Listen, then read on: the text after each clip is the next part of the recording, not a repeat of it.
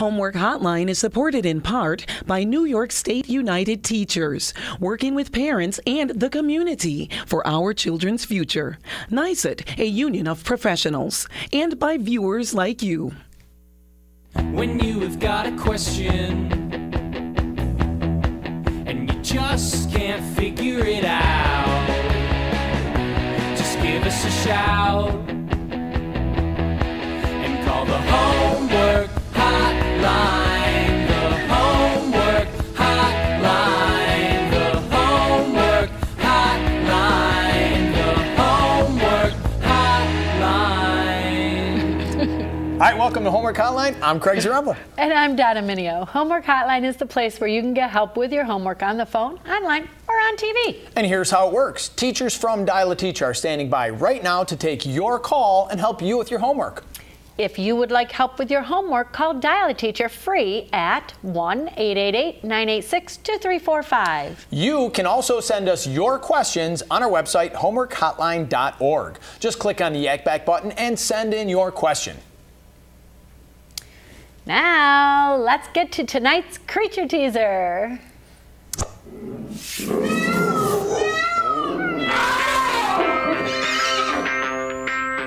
This creature breeds in the Arctic but will migrate south for milder winters along the North American Pacific and Atlantic coastline, lakes, and bays. It will fly almost 4,000 miles round trip between breeding and wintering locations twice a year. This bird mates for life. The babies have fluffy gray feathers that turn white after their first winter. The parents are very protective and will fight off predators such as foxes. This creature eats by dipping its head underwater and pulling up water plants and roots. It also eats corn, cereal grains, and mollusks. This bird is a strong swimmer. By getting a running start on the water, it can beat its wing and wings until it's airborne. If you think you can solve the creature teaser, give our hotline a call at 1 866 264 5904 or just answer it on our website, homeworkhotline.org. Answer correctly, and you could have a chance to share the answer at the end of the show.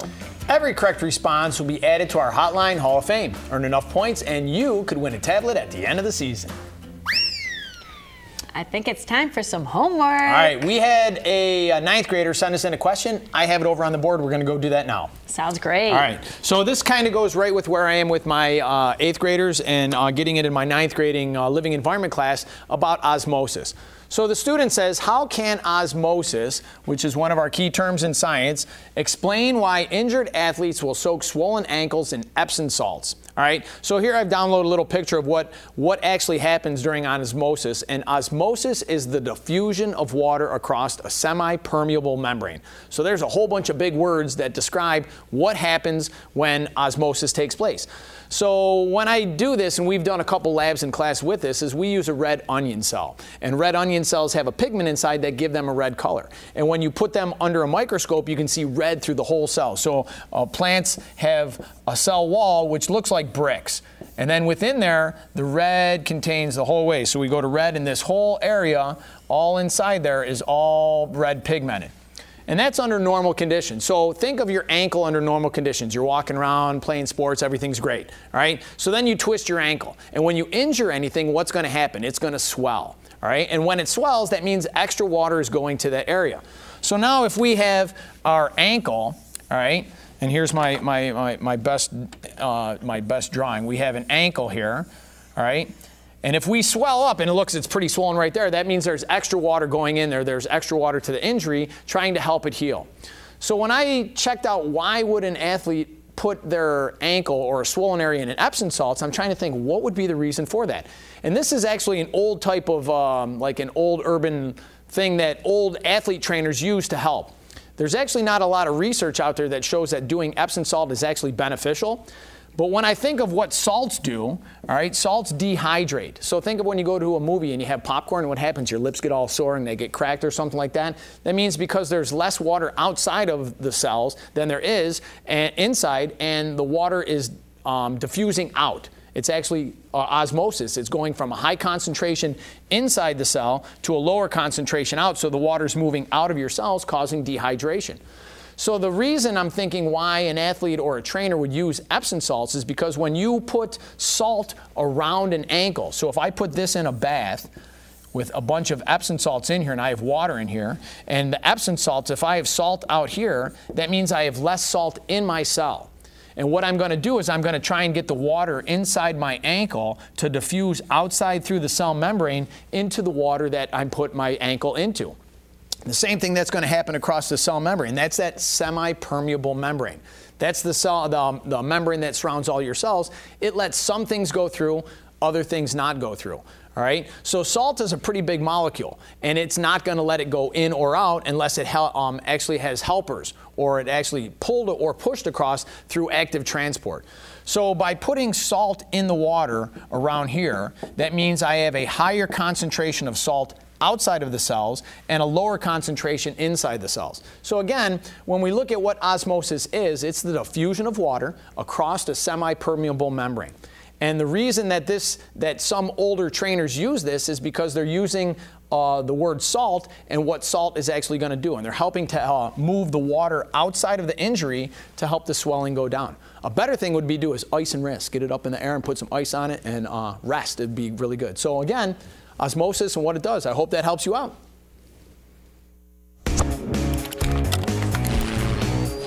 Need help with your homework? Call Dial a Teacher for free at 1 888 986 2345. And don't forget, Dial a Teacher is open Monday through Thursday from 3:30 to 7 p.m.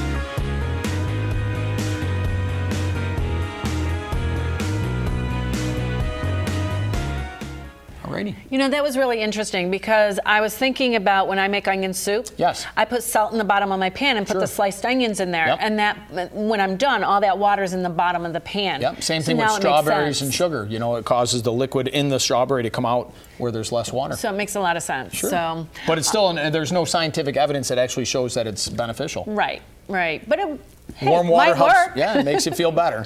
Okay, so I had somebody um, send in a geometry question. Excellent, we question, like and I'm gonna geometry. Go, oh, I love geometry. Cool. I'm going to go to the board and do that for them. Right, sounds good. All right. What this geometry question is, is we have two lines that intersect right here in the center.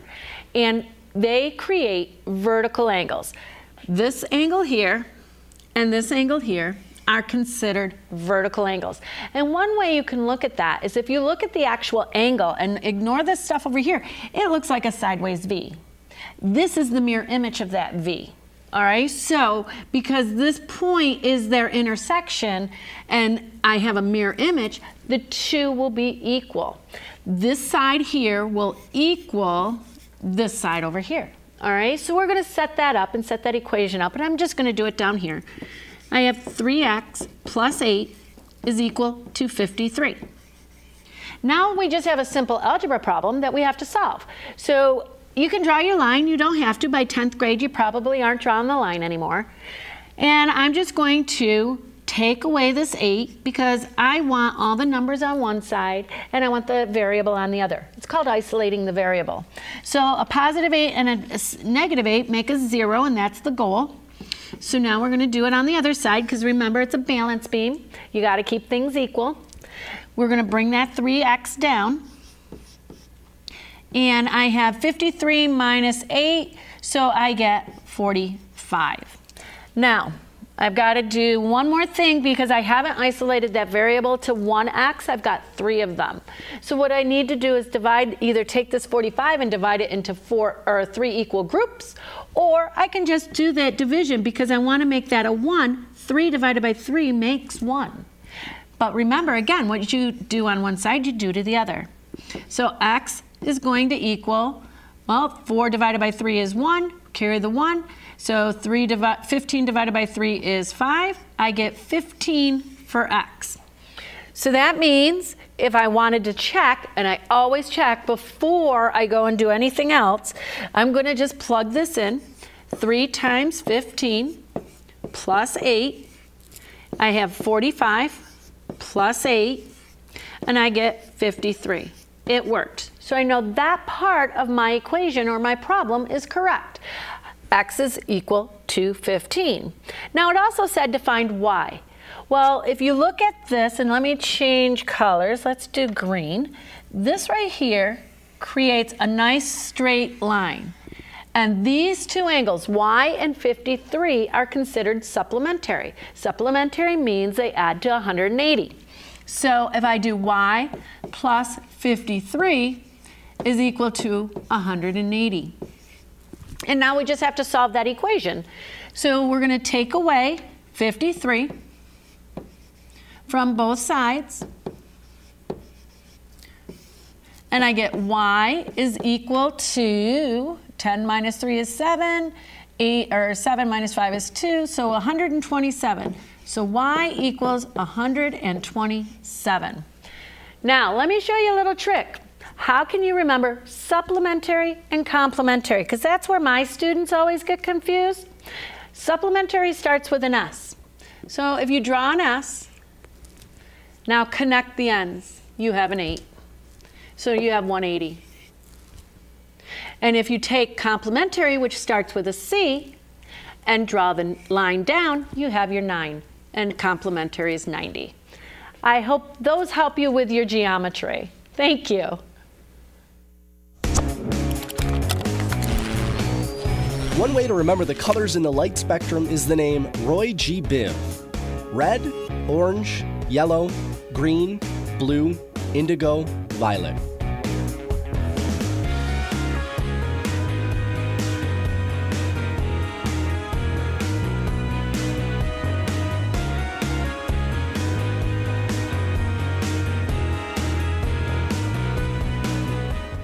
All right, we're going to go back to the questions in just a minute. Tonight we head to the Wildlife Defenders to learn about the bird that got its name from an ancient Egyptians. Check it out.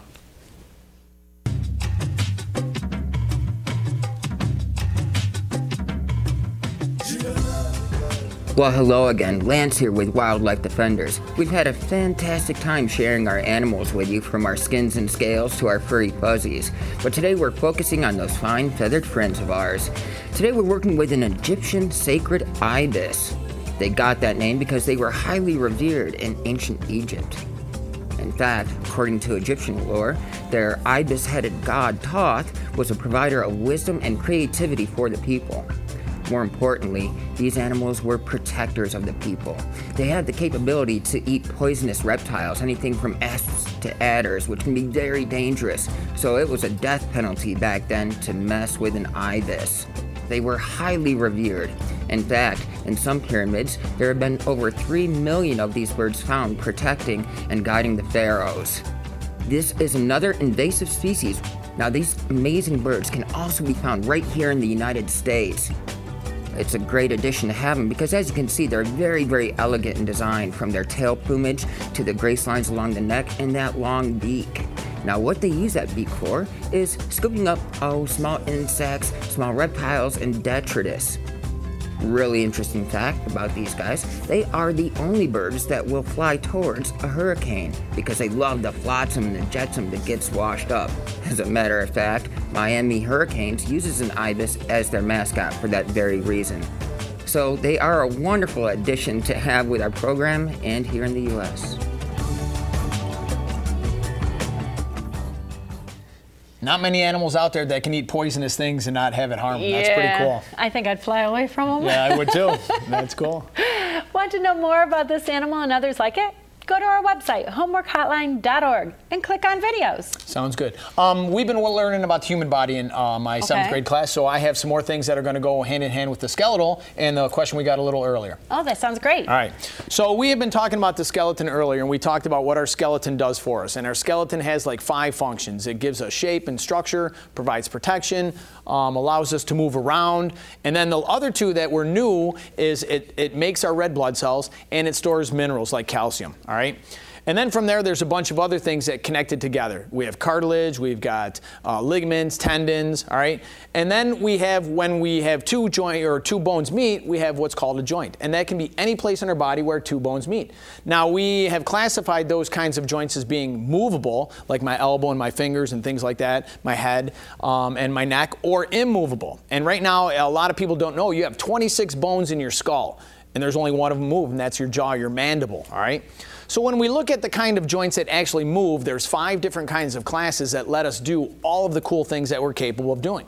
All right. The first one is called a hinge joint, and this allows motion in one plane or one direction. So think of a door or a cabinet that has a hinge on it. It lets it swing in one direction. The, the door is not going to go up and down. It's just going to go back and forth, or whichever way the hinge is attached to there. So places in our body that we have hinge joints is our knees, our fingers, our toes, and our elbows. And pretty much those are strictly just that. It's a it's a hinge joint.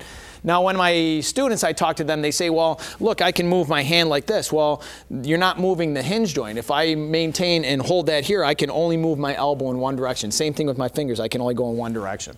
The next kind is called a ball and socket. And we have one true ball and socket, which is in our hip, where our, our leg, our femur attaches to our pelvis. And then we have a modified ball and socket, which is where our upper arm, our humerus, attaches to our scapula and our collarbone. All right? So those are the two places in there. And they allow a very wide range. You got a very wide range of motion, things you can do with a ball and socket. The next kind is a pivot joint. And I, when I talk about a pivot joint, I talk with my students about basketball because uh, they, they play basketball and they know what a pivot is. And that's where you plant on one foot and you can pivot around. So a pivot joint is just like that. It's where one bone rotates around another. One place that we have this is where your spine attaches to your head. So where that is, it allows you to rotate back and forth. Has quite a bit of range of motion, but short distance. Another place that also has a pivot joint is in our ulna and our radius, which is in our forearm here, which lets me rotate my hand up and down without having to bend my elbow. So I have one bone that's actually two bones that actually rotate over one another. Okay, the next type is called a gliding joint. All right, very limited range of motion. And in our wrists, we have a gliding joint. In our ankles, there's a, like a modified gliding joint because you have two bones that come down that support um, around a, a, bunch of bones in your um, ankle. And then our vertebrae. So those are the bones that make up your backbone. They're stacked one on top of the other, which lets you bend over, twist, and stuff like that. The last type of joint that we have in our human body is a saddle joint. And there's only one place that you have it, and that's in your thumb. So we, because of this saddle joint, it gives us a wide range of very short motion, but it also lets us have a opposable thumb, which lets us do this kind of motion that other animals aren't able to do. Having that capability lets us build all kinds of cool stuff. All right? So I'm hoping this helps you guys understand with how our body is able to move, and we'll continue learning about our human body as we go along. Thanks a lot.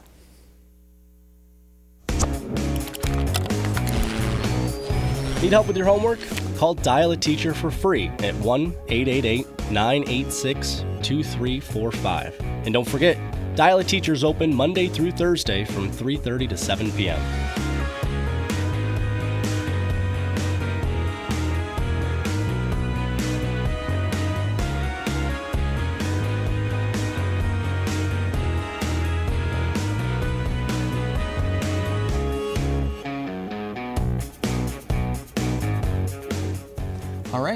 So you just proved all the times my kids said they were double jointed, they're not. No, it's just one joint, but I don't know how. I mean, you can. You just move different Yeah. ways, but Yes. yeah, Yep. okay. I have um, a review lesson that I've been trying to work with my students on integers. Sounds good. Okay. All right, adding integers. What we're going to do is we're going to review how to add integers. And now one of the things that um, my students have a little bit of trouble with is when they're a positive and a negative. They're really good at two positives being added together to give you a positive because they've been doing that since they learned how to add. The two negatives follows the same thought process, so they're, they're not bad with that. If you relate it to money and you say, okay, you owe me $5 and you owe him $3, you know that you owe $8. So th- they're pretty good with that. But the hard part is when you have some positives and some negatives. And they have a really hard time thinking about it in money even because they're only in seventh grade. So we're going to take a look again. The different sign difference gives the answers. Give the answer the sign of the number you have the most of. So if I have a positive and a plus a negative, but you look at look at it like money versus what you owe. You have $8 in your pocket, but you owe $5. You're going to end up with money in your pocket because you have more money in your pocket than what you owe. So your answer would be positive. If you looked at it as you owe $8, but you have $5, Now you're going to be short some money. So you're going to have a negative for an answer. It's a, really a hard concept to um, get through and to understand. You just got to keep practicing. So let's go to the next. Uh, take a look at this. How does a negative 2 plus 6 differ from a negative 2 take away 6? Well, excuse me. I'm going to do my negative 2. Now, I always use the number lines when I'm introducing something new, and I use vectors. I don't use those jumps that little kids use. So when we start, we start at 0, and we go to the negative 2. So there's my vector to negative 2. Now I have to add 6. So I'm going to use, and I try to get my kids to use red for negatives because that's when you talk about banking, you're in the red if you owe money. And I keep it in the black so because you're in the black if you have money. So now we have to go 6. Well, we're going to add 6, so we're going to go to the positive side. One, two, three, four, five, and 6. And then draw your dotted line down and find your answer. So your answer would be 4. Now, how is that different from negative 2 take away 6? Well, same thing. We're going to start here, go to our negative 2. But now we're taking away. And remember, taking away is you're going to go to the left. You're going to owe more money. So we're going to start at the negative 2 and go another 6. So now, draw your dotted line down, and you're at negative 8. So looking at the two problems, I added six. I actually had to change my direction and go toward the right on the number line. But when I subtracted six, I had to go to the left. I had to go more, I owe more, more negative. So let's take a look at another one. All right, so we have a five, take away a negative four. This really messes them up. So we're gonna go to the positive five,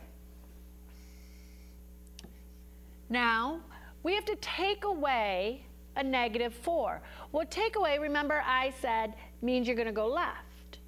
So I'm going to go left, but then I have to switch my direction again because of that negative. So now I have to go right. So pretty much what you're doing is you're doing here, you're going to go this way, but you can't because that next one says to go here. So you come down and you're at the nine. You could also look at it as you have $5 and you don't owe somebody that $4. So how much do you really have? So you actually have $9 in your pocket. Let's take a look at negative 9. So again, remember, starting at 0, we go all the way to negative 9. Now we're going to take away a negative 5. Well, re remember we talked about taking away, going left, but oops, I got to now go right. So I'm to go right five, and I'm right here, drop our line, and I'm at negative four. All right? I hope that helped.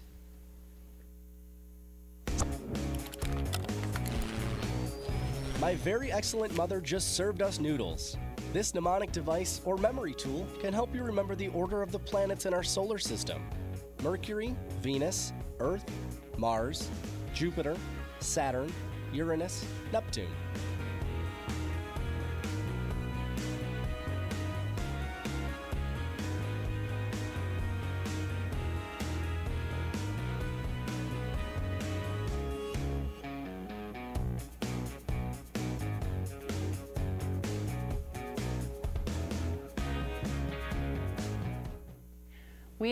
In tonight's creature teaser. Fatima, are you out there? Yes. Hi, Congratulations.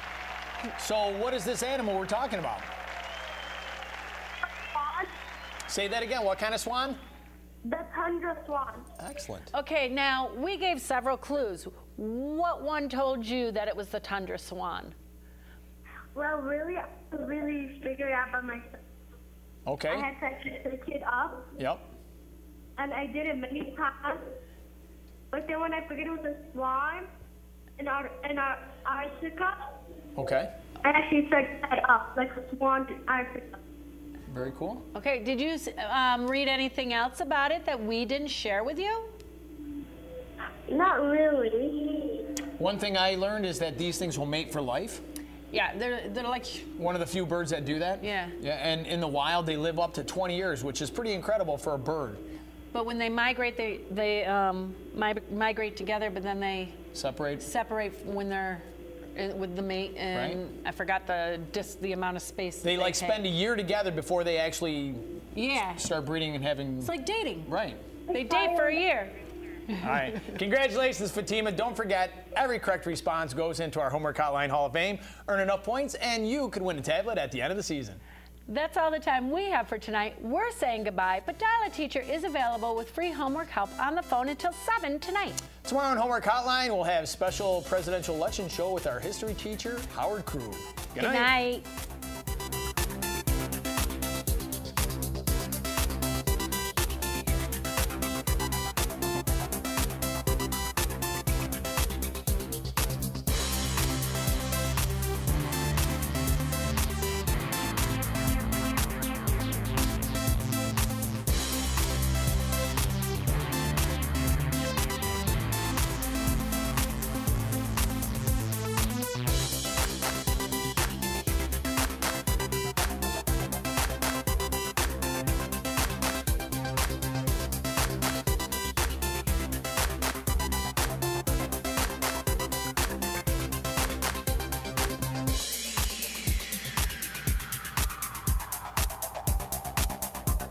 Homework Hotline is supported in part by New York State United Teachers, working with parents and the community for our children's future.